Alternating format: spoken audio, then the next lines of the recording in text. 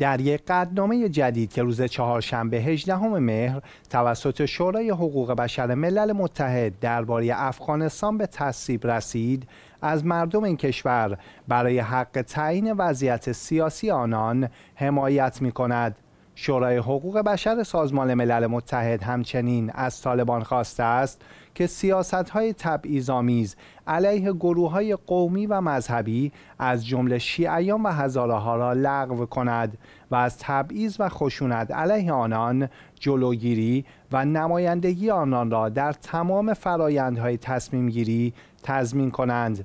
در این قدنامه همچنین آمده است که اعضای شورای حقوق بشر ملل متحد نسبت به وخامت وضعیت حقوق بشر در افغانستان به شدت نگران است به ویژه در مورد نقض مداوم حقوق بشر و نقض قوانین بشری بین المللی از جمله مواردی که به شکل سیستماتیک زنان و دختران را هدف قرار می دهد.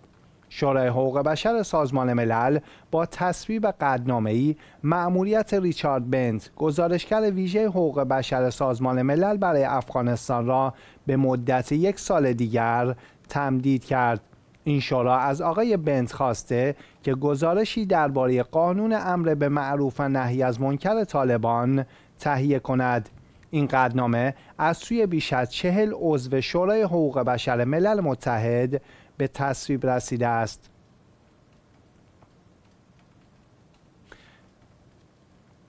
دکتر عبدالواحد افزلی استاد دانشگاه تورین از ایتالیا همراه ماست. سلام و عرض ادب دارم خدمتتون. آقای دکتر افزلی با توجه به تصویب قدنامه جدید شورای حقوق بشر سازمان ملل در حمایت از حقوق اساسی مردم افغانستان به ویژه شیعیان و هزاره ها به نظر شما آیا طالبان به این خواسته ها و اصلاحات پاسخ مثبت خواهد داد و چه اقداماتی برای بهبود وضعیت حقوق بشر می‌توان انتظار داشت؟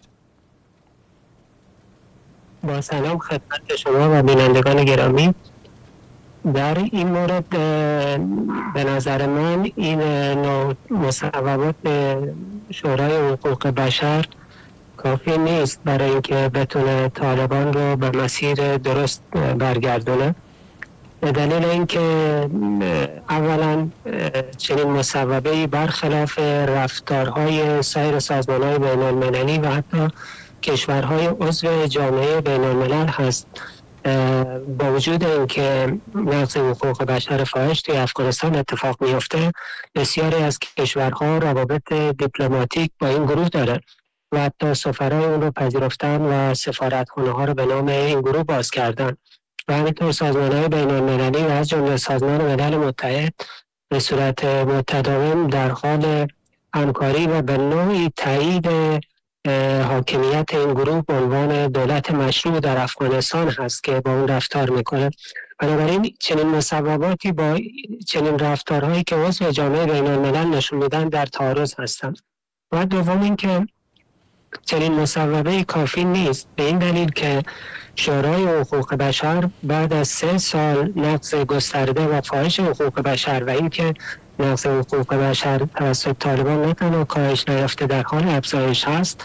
نباید با این گروه مماشات بکنه و با تصویب با چه مصوباتی فکر می‌کنه که پاسخ یا حمایت کافی را از حقوق اساسی شهروندان انجام داده. بلکه باید پرونده یا قضیه افغانستان رو به شورای امنیت ارجاع بدن و همچنین به دادگاه محکمه بین المللی عدلی که زیر مجموعه سازمان ملل متحد هست بله. تا در مورد آنها یک حکم قضایی صادر بشه و صرف چنین مصوباتی بیشتر فعالیت سیاسی هست تا واقعا یک فعالیت حقوقی به دلیل اینکه تجربه کافی از عملکرد طالبان وجود داره و مماشات در برابر طالبان اونا رو جسورتر کرده در نقض حقوق بشر آخرین مورد همین قانون امر به معروف هست که در برابر مماشات جامعه بین الملل آنها به صورت رسمی و سیستماتیک از طریق ایجاد قوانین و نقض حقوق اساسی شهروندان و خصوصا اقلیت های قومی و مذهبی می‌پردازند.